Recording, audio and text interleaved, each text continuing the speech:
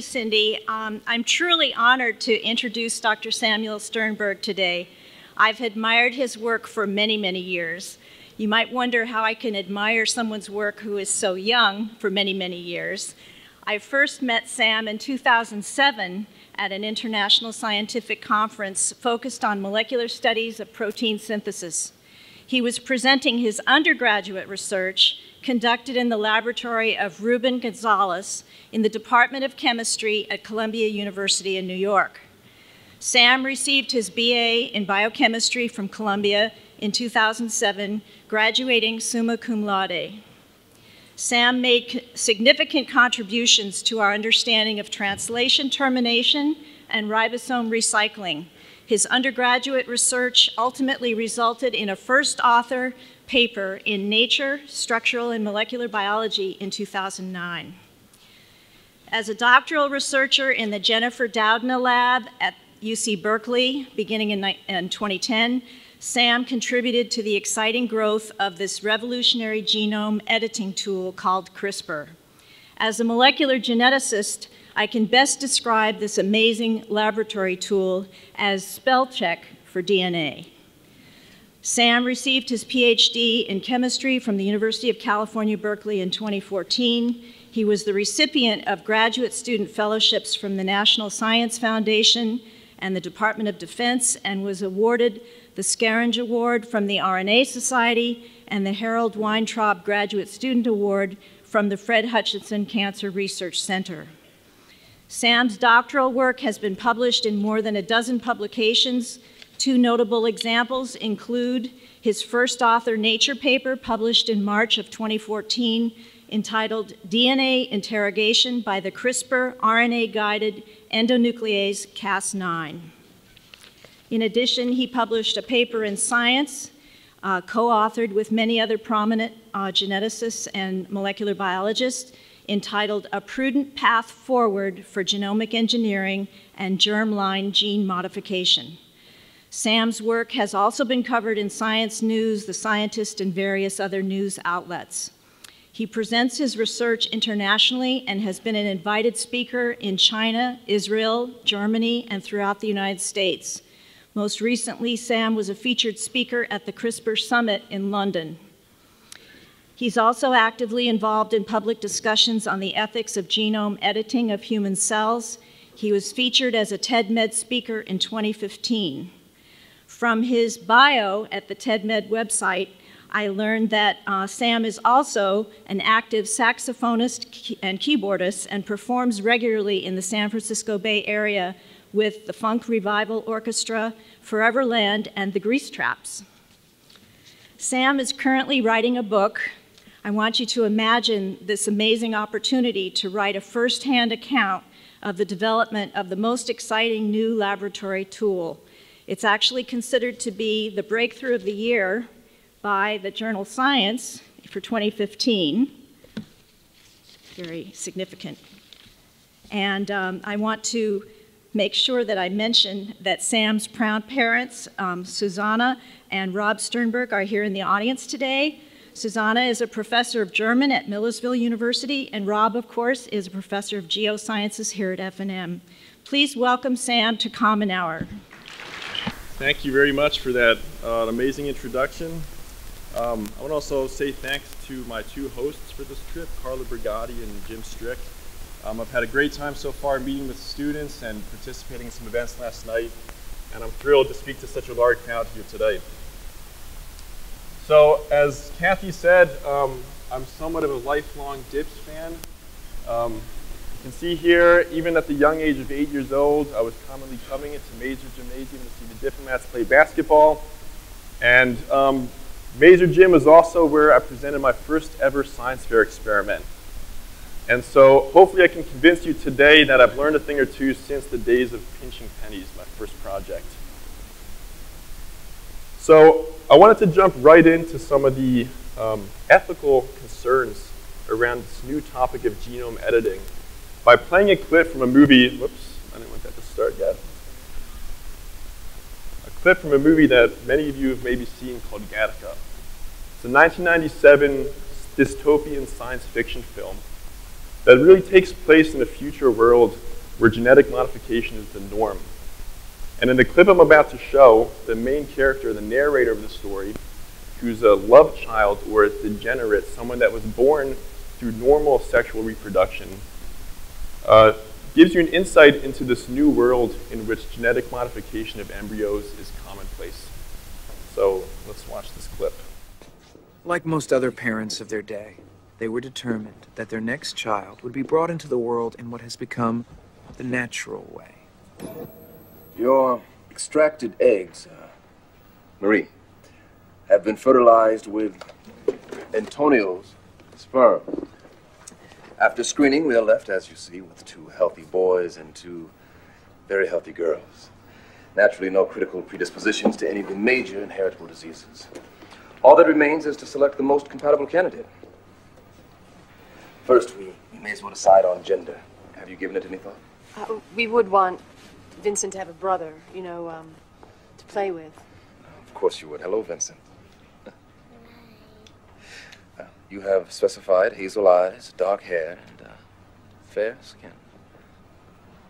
I've taken the liberty of eradicating any potentially prejudicial conditions uh, premature baldness, myopia, alcoholism and addictive susceptibility, uh, propensity for violence, obesity, etc. We didn't want, I mean, diseases, yes, but. Uh, Right. We were just wondering if if it's good to just leave a few things to, to chance. You want to give your child the best possible start.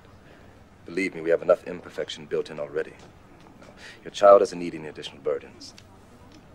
And keep in mind, this child is still you. Simply the best of you. You could conceive naturally a thousand times and never get such a result. Okay, so a bit chilling, this scene. Let's talk about what's actually fact and fiction in what we just saw. So first of all, this notion that in vitro fertilization is the natural way, or maybe better, the common way.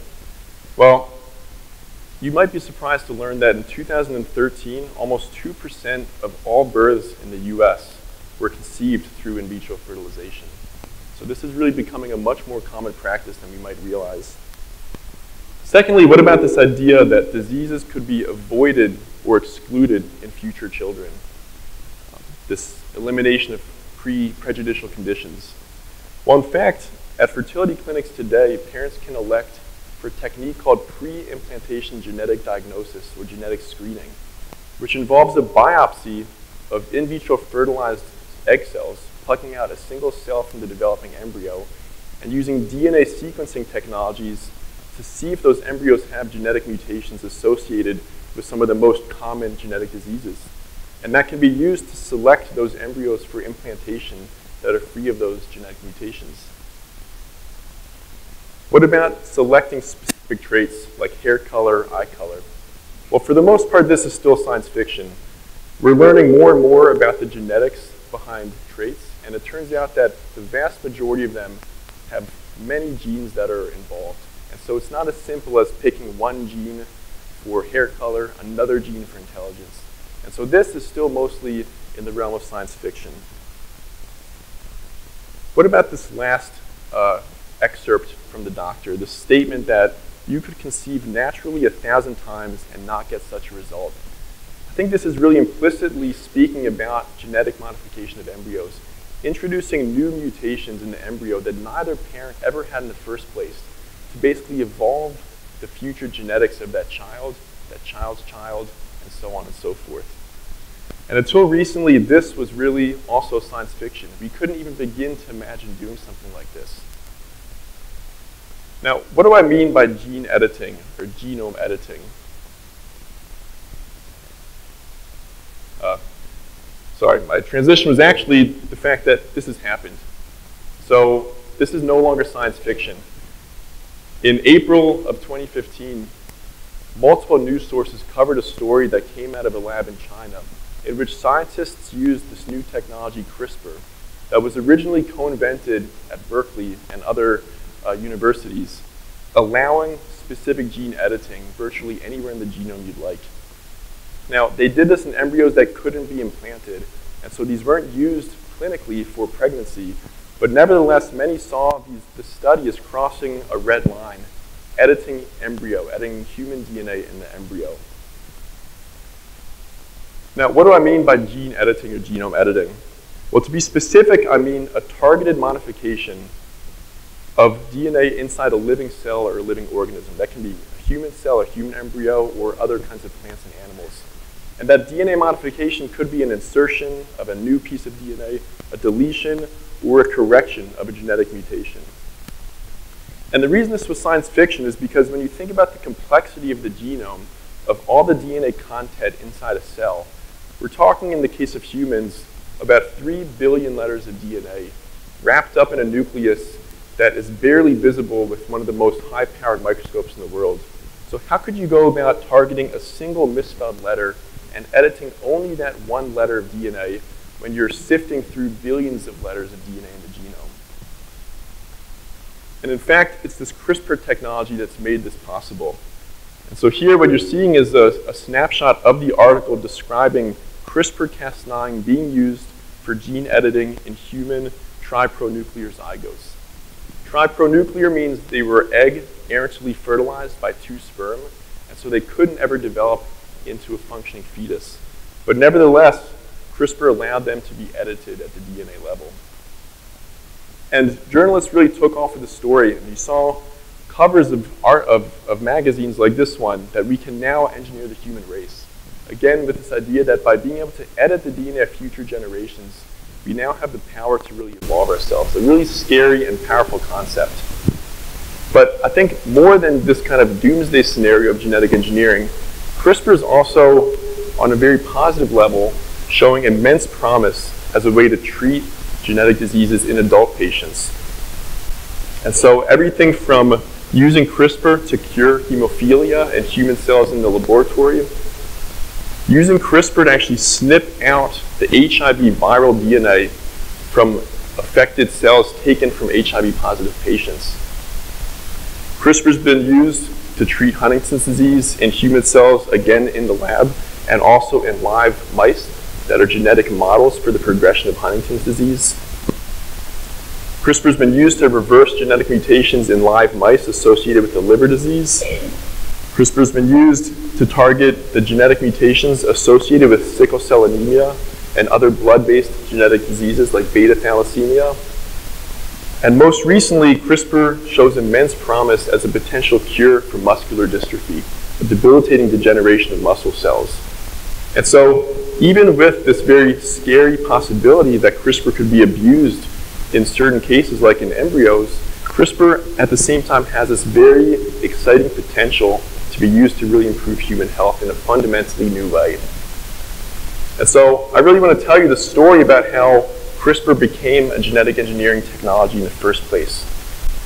And that story doesn't start with genome editing, it doesn't start with human cells, it doesn't start with disease. It actually starts from very fundamental research that me and my lab mates were doing in Jennifer Doudna's lab at Berkeley, studying this bacterium here, Streptococcus pyogenes, a skin pathogen, and we were really interested in understanding how this and related bacteria protect themselves from their own kinds of pathogens. And in the course of this research, we happened to chance upon this technology that is completely reshaping biological research and medical research. So I want to spend about the next 10 minutes or so telling you the backstory for how we even found ourselves in the middle of this genome editing evolution. So 1987 can be seen as really the first moment of CRISPR research. The publication of this obscure article before CRISPR was even a term. This is before CRISPR had been coined. This was a paper from a Japanese laboratory that was um, trying to understand the DNA sequence of a pretty random gene found in the genome of E. coli, a common lab bacterium and something that also populates our intestinal tract. Now, they were busy studying the DNA sequence of this gene when they noticed what they ended up calling in this article an unusual structure of DNA at the end of this gene sequence. And at the time, this was just something that they mentioned at the very end of the paper. It wasn't their focus, but it was kind of an interesting quirk. And they noted that the biological significance of these sequences is not known. in fact, for 20 more years, that was a complete mystery what this unusual structure actually did. So we can take a closer look at this unusual structure. What I'm showing here is actually a snapshot of one region of the DNA genome, just a couple hundred of those DNA letters taken from E. coli.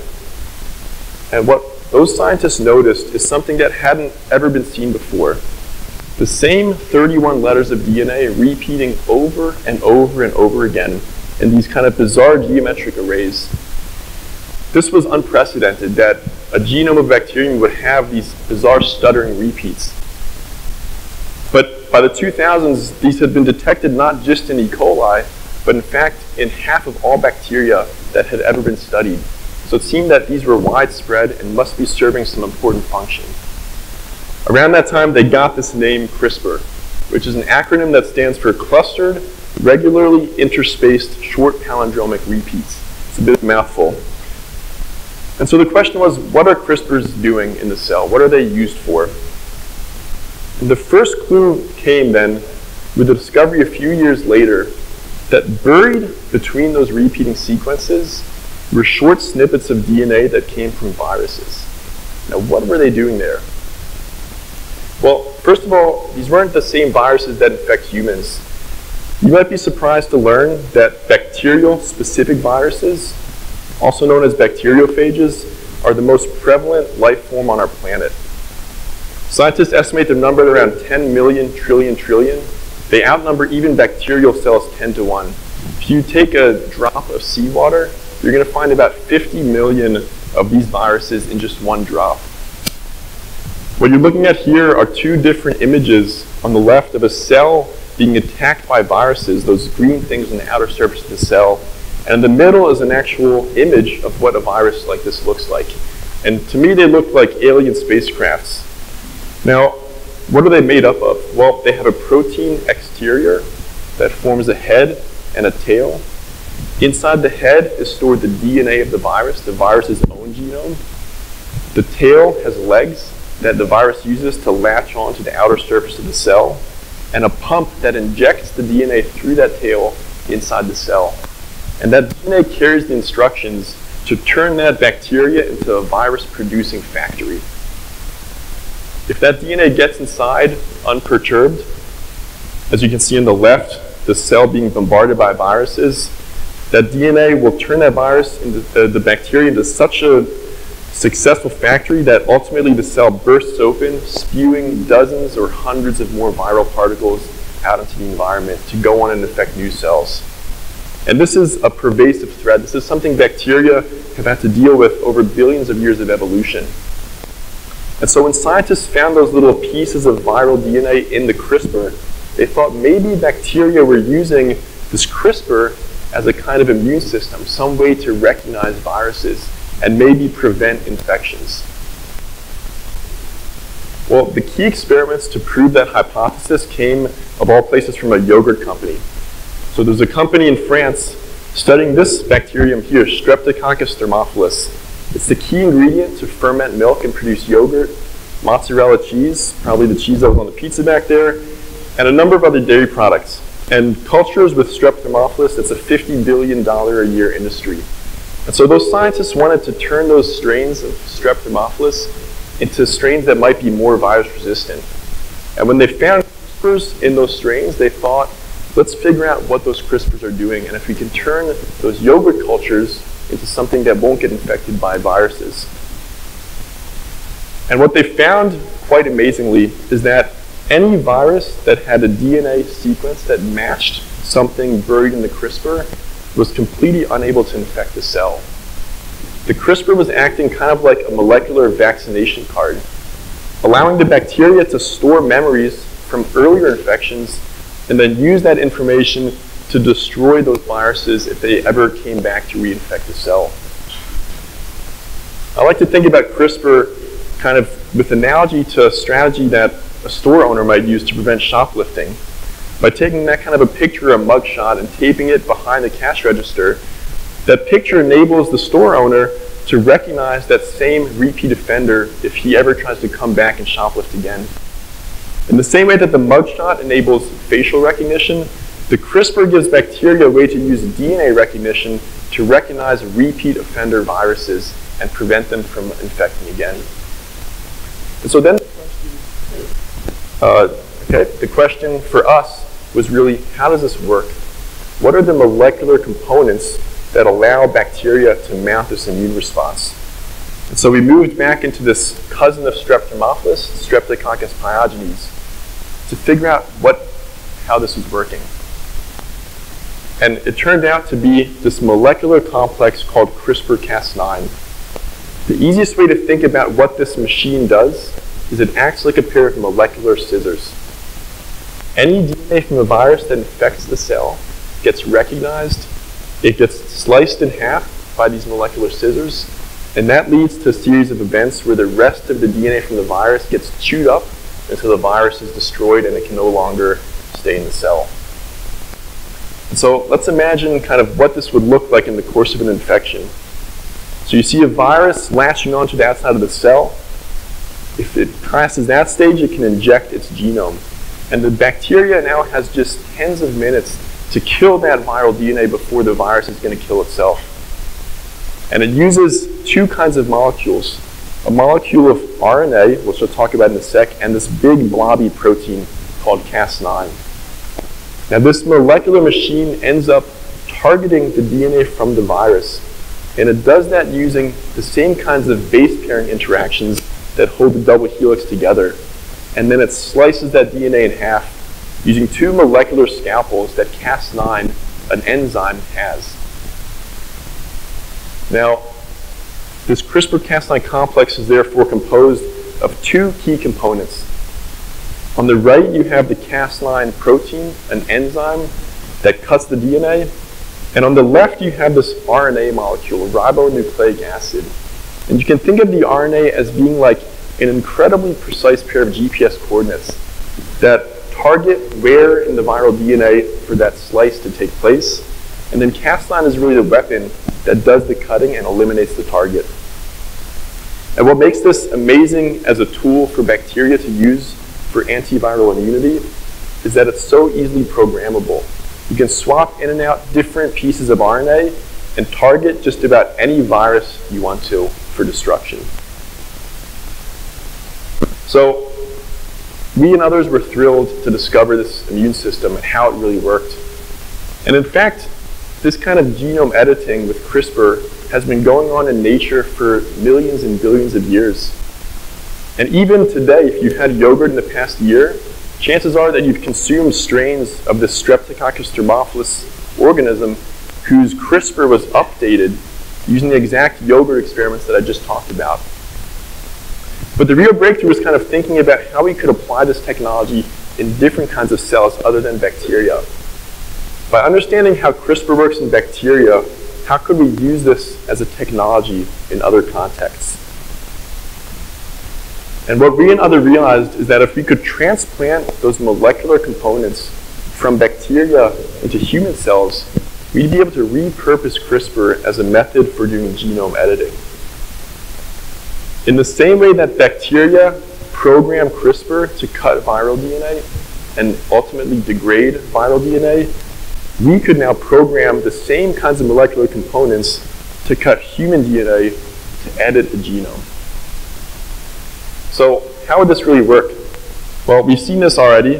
CRISPR is used in bacteria to slice viral DNA in half until the DNA gets destroyed. It turns out doing this in a human cell, some extent, looks exactly the same for the first half of the reaction. You slice a specific DNA sequence in half, but the second step here is where the magic happens. Instead of the DNA getting destroyed, we can actually mark that cut site in the genome to be repaired in any way we'd like. And the reason is because for decades we've known that cells have the natural ability to repair broken sites of DNA. We're hit with DNA damage from ultraviolet light, from oxygen radicals, and from carcinogens that we might eat or ingest. And so cells can fix broken sites in DNA. Scientists had the idea that if we had a way to cut the genome in a specific place, we could actually bias the cell or coax the cell to repair that broken site in the way of our choosing.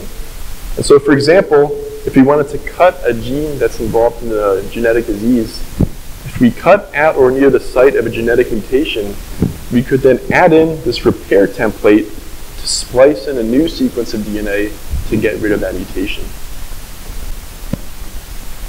Now, as Kathy alluded, I think one of the easiest ways to think about this is as spell check, or maybe similarly as the find and replace function that you might use in Microsoft Word.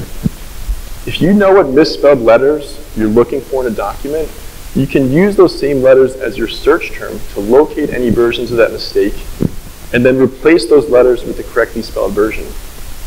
CRISPR is allowing us to do the exact same thing in the context of a cell by using that RNA molecule as a search term and Cas9 as the initiating event to replace that misspelled letter of DNA with the correctly spelled letters.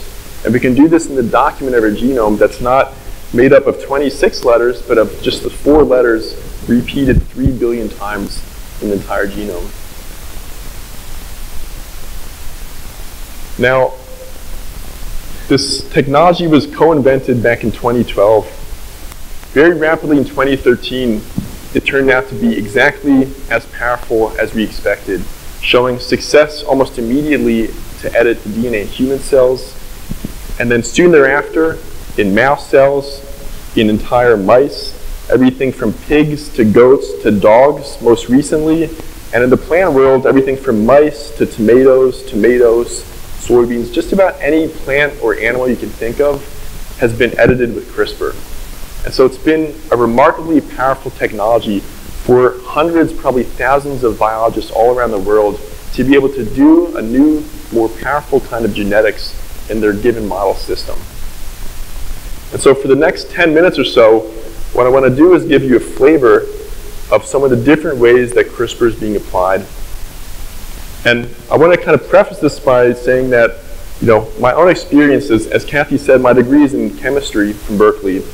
And also for many of my colleagues, you know, we really have been focused on the molecular mechanics of how CRISPR works. And some of these more controversial applications are being done elsewhere. And I think as scientists being involved with the kind of early inventions, we have to start thinking about how this technology could be used for good and also for bad or for kind of applications that we might see as being more controversial or ethically dubious. And I think as we get to points two, three, and four, we'll get a sense for some of those areas. Above all, though, I think using CRISPR as a basic research tool has been transformative in biological research. You think of DNA as being the blueprints to make all living things, how a single fertilized egg cell can turn into a human made up of 50 trillion cells that can think, feel, get sick, age, love. And with CRISPR, we can now zoom in on the DNA and start asking basic questions about what genes are involved in all the kinds of physical manifestations that make us sick or that turn other species into the species that they are. And so just to give you a, a kind of a brief sense of one way in which this just is being used, CRISPR is really revolutionizing our basic understanding of cancer. And so we can do things like use CRISPR to discover new drug targets by modifying genes in which proteins are most important for certain kinds of cancers to grow in patients or in the laboratory. CRISPR has been used to really understand the cancer genome. So for cancers that have been heavily mutated, what are the genetic susceptibilities of certain cancers? Where can we find weaknesses? Certain areas that they're most susceptible to intervention by small molecule drugs. And then we can use CRISPR to do experiments in live model organisms such as this impressive paper that used CRISPR to determine the genetic factors that allowed a cancer to metastasize in a mouse. And again, with this information in hand, we can start thinking about new ways of treating or preventing cancer. But of course, CRISPR as a basic research tool goes far outside human biology. And I think you'll find now hundreds, maybe thousands of paper where CRISPR has been applied to study different kinds of uh, model organisms. And just to give you one sense, this was a paper from the end of last year that I found particularly interesting that actually used CRISPR to do gene editing in butterflies.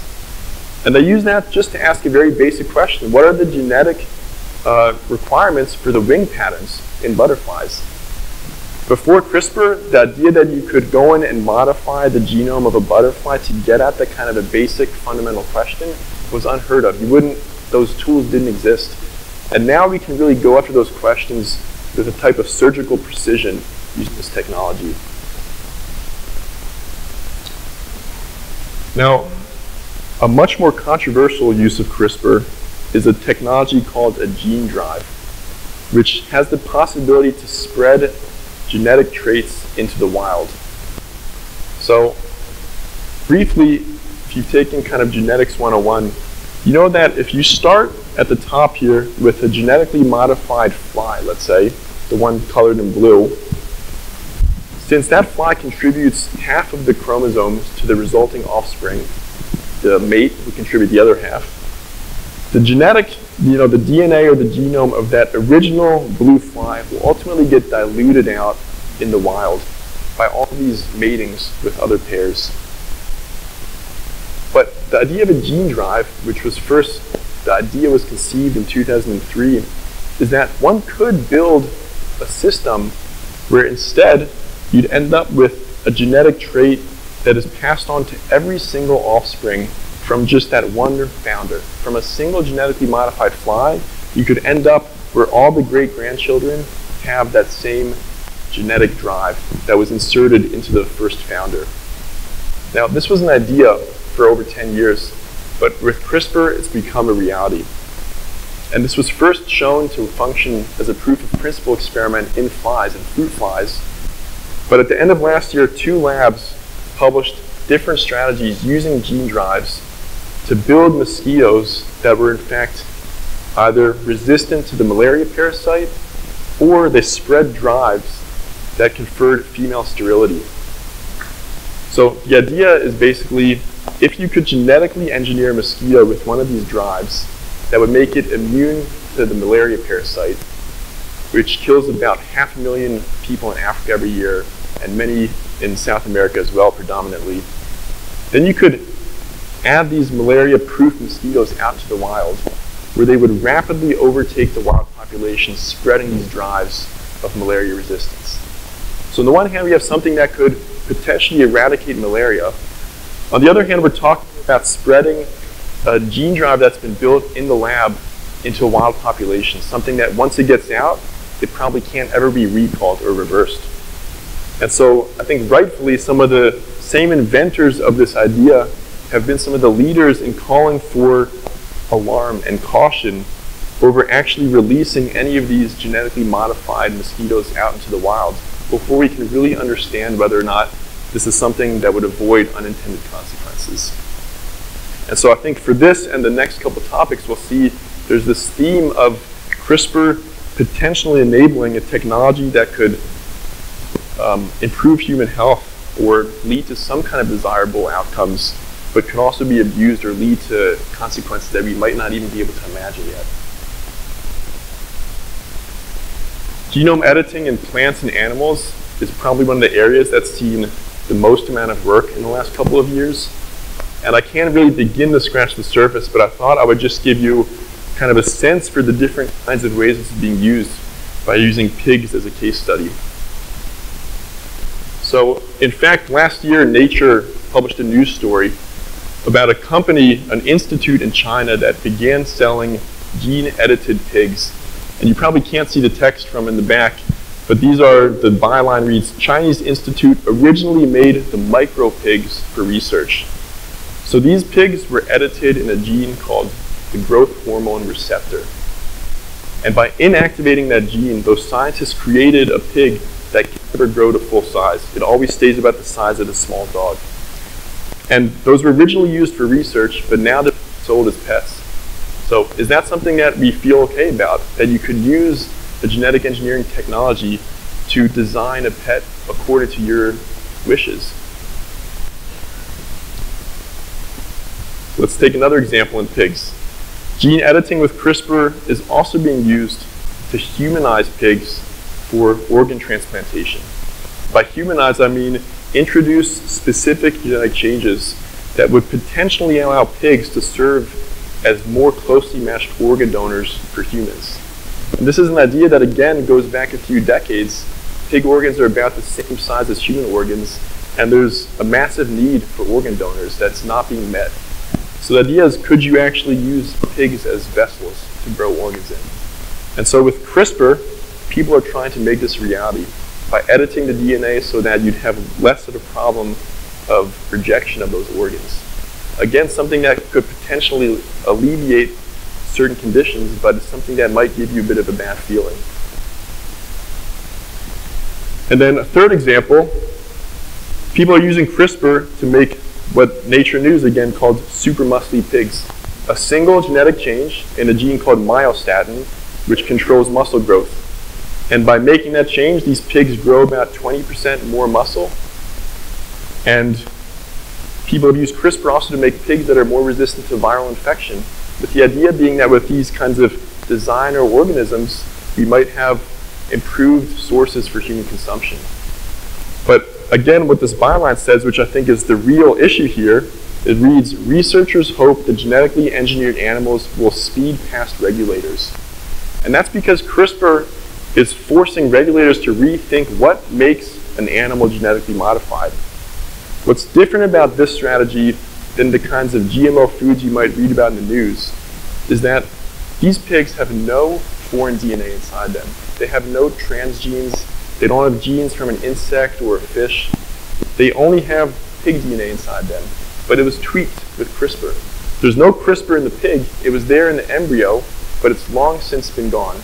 And so if you were to analyze the DNA of that pig, you would never know that it had been tweaked in a laboratory. And the same goes for a lot of work being done now in plants and other animals. And so what makes a GMO a GMO? The way in which it was generated or the DNA that it has after it was modified. And then finally, I want to end with kind of a survey of the way that genome editing could be used for good and for bad in humans. So let me just start with a bit of a definition of the different types of edits we could imagine making. On the one hand, we could edit so-called somatic cells. These are cells of the body that don't lead to reproduction. So everything except eggs and sperm, things like muscle cells, heart cells, nerve cells, blood cells, etc. So these changes would not be heritable. They wouldn't be passed down to subsequent generations. And so this really has widespread support across the biomedical community because really this would allow certain genetic diseases to be cured in adult patients, something that it's tough to argue against. But what about editing the germline? These would be egg or sperm cells, things that would lead to reproduction of offspring, and so would lead to changes that would be passed down to subsequent generations. This is highly controversial, as you can imagine. Now, as I said, I'm not any kind of an expert in genetics or in human biology, but at the same time, having you know been involved in research that has spawned some of these ideas, for myself and especially for my former advisor Jennifer Doudna, we've felt that getting this conversation started with a broader uh, collection of stakeholders beyond just scientists is incredibly important because these are some of the issues that are going to affect society more broadly. And so this was one of the ways that we tried to kind of have this conversation get jump-started by publishing this perspective in Science calling for caution in using this technology. And in fact, this directly led to an international summit that took place in Washington, D.C. last month to deal with some of these questions about how CRISPR can and should be used. Now, how would you use CRISPR? Why, why would you use CRISPR in germline cells? Well, we can think about disease prevention. So some cases like if two parents are both afflicted with cystic fibrosis, the only way for them to have a child that doesn't also have this disease would be germline editing. But there's a slippery slope argument here that this could very quickly lead to ideas of using CRISPR for genetic enhancement, for introducing traits that would lead to some improvement of that child beyond the starting DNA that either father or mother would contribute. And what about the safety and ethical concerns? Well, there's a bunch. I'll just list a few here. First of all, some would say that this is playing God that we should never be doing this kind of an experiment. Secondly, you'd be talking about editing the DNA of a future child that cannot give consent for that treatment. Is this even something you can do according to this idea of getting consent? And then thirdly, CRISPR, you could imagine, would be abused or would widen social or genetic disparities between different populations if only some people have access to this kind of technology and others don't. And then from a safety perspective, there are still areas in which the technology is not good enough yet. There are unintended consequences where not understanding genetics well enough might lead to making changes where we can't fully predict what the outcomes would be. And then there's this concern over making changes other than the ones we would like to make, so-called off-target effects. But then finally, I think what many of us are worried about is that this concern over the germline will kind of tarnish the possibility of, of CRISPR to be used in somatic cells to alleviate genetic diseases. And so you could imagine using CRISPR to modify cells taken out of a patient to correct them at the DNA level and reintroduce them into patients for diseases like sickle cell anemia, where those modified cells might go and implant in the bone marrow to basically cure that disease at its source. You could also imagine using CRISPR by applying it directly to the body systemically or by a targeted delivery to uh, organs that are affected by certain diseases. And already there's exciting promise over the possibility of gene editing as a therapy. And in fact, the first drug that's already made it to phase three clinical trials offers a straight out cure for HIV by actually editing the DNA from HIV positive patient cells to make them immune to the HIV virus. So for the first time, we can think about not just using lifelong antiretroviral treatments, but a single one-time treatment that could lead to a permanent cure. And there are now three major companies that have been founded to commercialize and develop this CRISPR technology for therapeutic use. So there's a lot of excitement and a lot of interest of really pushing this technology forward to really help uh, human suffering and human health. Um, but I want to just end with kind of my own perspective, which again never came into the picture thinking about you know, actual putting this in the clinic, but understanding the fundamentals about how biology works and how bacteria protect themselves from viruses. And I think for many of us, kind of the moral of the story is that we need to follow our curiosity and keep on asking questions about how biology works because you can't ever really predict what's going to come out of the research. I think you would have never thought that experiments in yogurt were going to lead to technology that would have all these kind of possible applications in human health. And so I think you know, this is really a testament to the importance of basic fundamental research. And so with that, I want to just end by um, throwing up a picture of where all of my work in CRISPR took place. A much warmer, and much sunnier place than Lancaster. But that being said, having been there for about six years now, I haven't been in a true snowstorm for quite some time, so I'm hoping that we get a real dumping this weekend. And this is, by the way, Jennifer Doudna, who was my PhD advisor and who was really the person that made a lot of this work possible. And I want to thank so many of you for coming out today, and I'll be really happy to take some questions. So thanks a lot.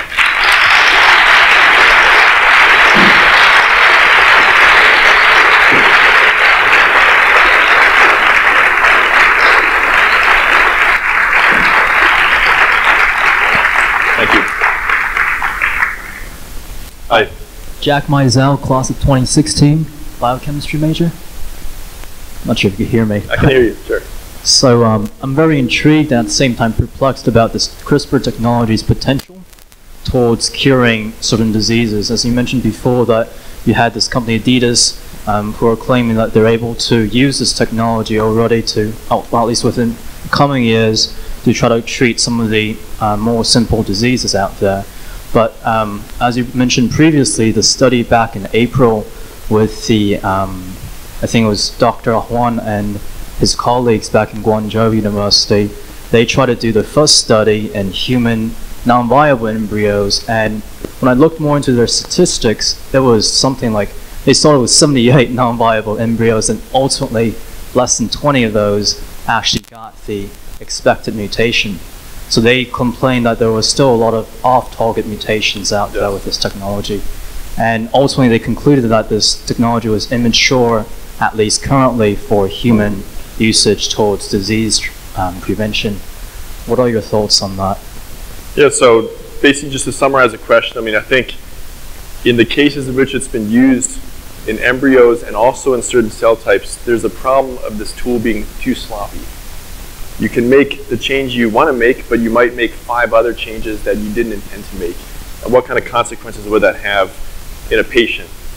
So I would say one thing about the embryo study, there have been multiple improvements to the technology, and I think one very active area of research is making this gene editing tool more and more perfect, so less prone to these off-target effects, the unintended consequences.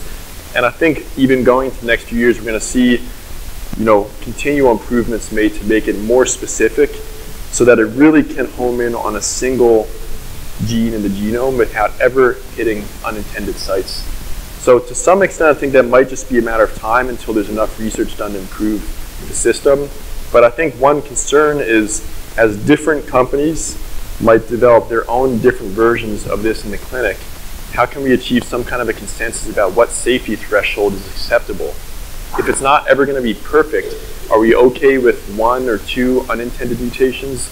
How do we evaluate those safety concerns? And so I think at the clinical level, there's going to be a lot of work done to establish benchmarks and you know expectations and safety limits for what we see as being acceptable and unacceptable in terms of some of those off-target effects. Second question. My second question is, uh, so regarding the um, applying this technology towards diversification wildlife. So you mentioned the pigs that were um, experimentally altered. So um, some of them had a lot more muscle. Now, what are the guidelines to determine whether something is experimentally altered? Since, you know, in the wildlife there are species out there, maybe like um, the Belgian blue comes to mind, where there's they're naturally very muscular and they lack probably certain proteins so how if, if we you know use all technology to induce some pigs, well, couldn't that technically just have been naturally altered at a given time? Yeah, I mean, I think in the case of genetically modified organisms using this technology, there's a lot of arguments on both sides about what's natural, what's unnatural. In some cases, CRISPR is being used to accelerate what could be done through normal breeding anyway, but might take 100 years. Now you can do it in one year by using science to your advantage. But I think still for a lot of people, you might have a negative reaction to any scientist sitting there with a pig cell, changing it, and then that growing into a pig that we might someday eat. Or maybe it's descendants. Or the same thing for plants. I mean, if, if we're vegetarian, then the same thing goes for plants. You know, I think this is one of the very controversial aspects that precedes CRISPR, just the whole idea of what's natural or unnatural when it comes to organisms that we might consume. And certainly I don't have any answers, but I think it's an area where there needs to be vigorous debate so that the different perspectives can be aired and discussed. Thank you. Hi, I'm Pablo Henik in biology. I have a question that's triggered by the CRISPR story, but it's more general to the biomedical sciences. So I just read that your former advisor and some other people are embroiled in a patent dispute on CRISPR uh, my question is, CRISPR was developed or discovered and developed over the course of more than 20 years with investment of many millions of dollars from the taxpayers and governments from a dozen countries. What do you think is the ethics of now patenting it, presumably to get a lot of profit for private investors? Yeah, that's a great point. Um,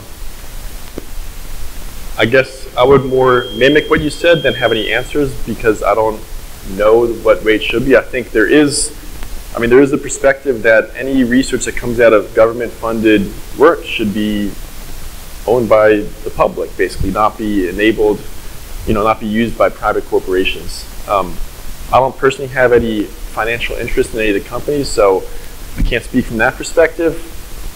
I think, you know, some people would say you need a financial incentive for a company to invest what ends up being billions of dollars to bring individual drugs to the marketplace. And maybe you need those incentives there for that kind of research to take place. I, I certainly don't have any answers, but I think it's a very interesting aspect of CRISPR. And yeah, for those of you that don't know, I mean, there's a whole kind of story to CRISPR that's below the surface about the commercial rights and the kind of fight over who discovered it and who owns the intellectual property. And I think to some extent, it's bringing out a lot of negativity for something that should be about how, you know, exciting the science is. And that's, I guess, what happens when you have financial interest intersecting with, with basic research. Maybe over here? Uh, hi, I'm Alex. I'm a senior here. Um, so one theory of aging I've heard about is the DNA damage theory. So over our lifetime, uh, our DNA accumulates a lot of errors, and that um, turns out to be our aging process. Um, I don't know how widely accepted it accepted that is, but I'm wondering um, what the applications for CRISPR would be in preventing aging or something. Yeah, I know people, I mean, I don't know of anyone that's pursuing that kind of as an application, but I think asking questions about which genes might be involved in aging is something that people can get at with CRISPR. I mean, I, I think fundamentally that's what this technology has enabled is if you think these 10 genes, maybe genes that are involved in DNA repair, might be implicated in either accelerating or slowing down aging, now you can go in and make those changes and do the experiment in a model organism.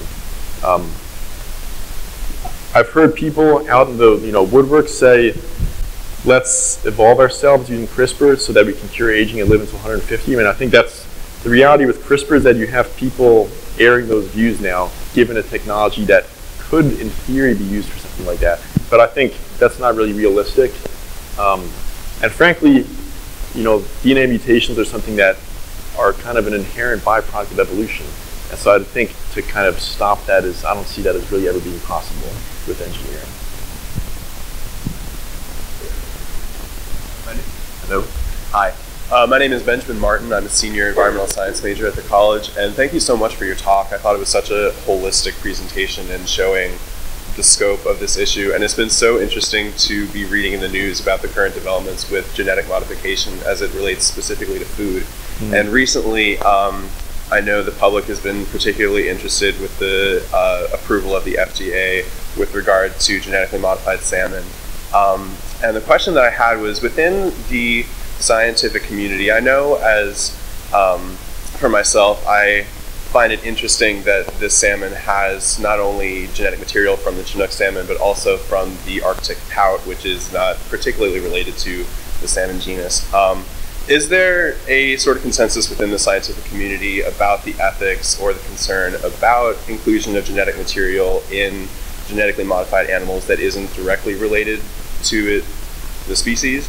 And also, how um, are people within the scientific community trying to project long term consequences of such inclusion of that genetic material? It's a really good question. I think a lot of people hope CRISPR will sidestep that question because of the distinction I made, which is your AquAdvantage salmon, as you mentioned, has DNA from a different animal that was kind of spliced into its genome. With CRISPR, people are talking about not introducing any foreign DNA at all. In some cases, let's say you have one strain of a barley that you know has a mutation that makes it taste better. You could introduce that in a different strain or in a different plant, but you're not introducing DNA from the barley. You're just using genetic knowledge to kind of mimic what we know already exists naturally. So I think a lot of regulators, or I should say a lot of companies probably would hope that this wouldn't be considered a GMO because it's not, it doesn't have foreign DNA inside of it. And I would say, you know, I think it's important, you know, I don't, I'm not really for or against, but I will say, you know, the majority of crops that we eat have been improved through mutagen, through mutation, and that's through breeding and through irradiating them with X-rays or gamma rays to naturally create hundreds of genetic mutations and then figure out which ones make them grow better or taste better or yield bigger tomatoes or bigger kernels of corn. And so fundamentally, CRISPR isn't doing anything different. It's instead of hitting it with x-rays and making random mutations, you're talking about making specific mutations using genetic knowledge. The difference is one hits it with x-rays and one hits it with a protein that we discovered in bacteria, but that won't ever be in that plant. So again, I think you have people saying it's unnatural, you have people saying it's natural, and then there's the question of how is that going to be regulated. And I think the government actually right now is completely overhauling the regulatory framework to try to, you know, catch up with the times with, you know, a situation where not every genetically modified organism has a transgene from a different fish or an insect in it. It might be treated with a different kind of technology that doesn't leave a scar. And how do we think about regulating that or evaluating the you know safety of those plants. Hi, my name is Emily. I'm a junior bio major. Um, so I guess my question is, mitochondria have their own DNA, and like mitochondrial diseases are inherited through the mother. And I know right now in the UK, the approach to that is taking donor mitochondria. So I guess could CRISPR be used to eliminate that third person and is the current treatment for mitochondrial disease, could it be used as a precedent for the ethics surrounding CRISPR? Yeah, that's a, also a fantastic question. Um, so people commonly say CRISPR, that experiment in embryos was the first ever case of editing the genome of humans. But in fact, people view this new assisted reproductive technology. I mean, it is basically genome editing because the DNA in a mitochondrion is part of the human genome. And by taking that from a different mother, that's basically editing the genome of that resulting offspring. Um, I think in the UK in particular, I think the way that some of the bioethics groups are thinking about editing the embryo, the nuclear genome, is being facilitated or improved by the earlier discussions they already have over this question of mitochondrial replacement therapy. There have been a few studies published where they've used gene editing in mitochondria the challenge there is when you talk about editing in an embryo, there's one copy of the nucleus, you know, there's one, but there are dozens, if not hundreds, of copies of the mitochondrion. And so you have many different mitochondrial genomes that you need to potentially edit. And so I think right now the technology is really not there to be able to do, you know, to hit that many different copies. But it's an area which I think there is active research. Thank you. Hi, I'm Amy Molnix. I work in the faculty center. I have two really biology based questions. So, one of them is um, horizontal gene transfer mm-hmm. and the idea that organisms that are not necessarily related to each other have mechanisms by which they exchange DNA. And whether that phenomenon is part of the conversation and concern over uh, releasing things like driver genes. And then my second question is, are there, uh, there are, in the last decade or so, there have been a number of proteins identified that bind ribonucleic acids and perform all sorts of dicing, splicing, mm-hmm. crisping functions. Could you talk about whether those proteins are actually related evolutionarily to each other? Thank you. Sure, thanks. So the first question, um, I think this is definitely a concern about whether or not DNA you modify in one organism that's in the wild ends up somewhere else where you didn't expect it.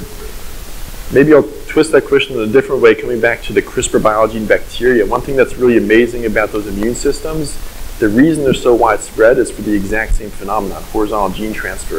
The fact that, like most organisms, bacteria share DNA between different strains have mobile genetic elements that can be passed from one strain to another. And so this is actually the reason that CRISPR is so prevalent is that because it had a selective advantage in targeting viruses, it got picked up by a lot of different bacteria. Um, the second question, I think the, there's really remarkable research being done to understand the evolution of CRISPR. And maybe to focus your question on just CRISPR, there are a number of different proteins besides Cas9 that are required for CRISPR immunity. And there's a really cool kind of story emerging about how CRISPR developed, you know, billions of years ago from some primordial version of this immune system that over evolutionary time picked up new functions, new proteins kind of came in and started working with these molecules of ribonucleic acid. And so I think we're getting a better view of how this really evolved over larger timescales. What is interesting also is that although you know eukaryotic organisms, humans and other multi-celled organisms evolved ultimately from more simple bacteria. There's to date been no evidence that CRISPR exists outside of the bacterial world or the archaeal world. So no one's ever found remnants of CRISPR or any of those enzymes in cells other than simple one-celled uh, organisms. So I think there is an interesting question, why didn't this form of immunity ultimately get passed on to more complex life forms? Of course, we have our own version of immune system, um, but why it's not CRISPR, who knows? With that, we're going to have to stop and say thank you to Dr. Sternberg for being with us today.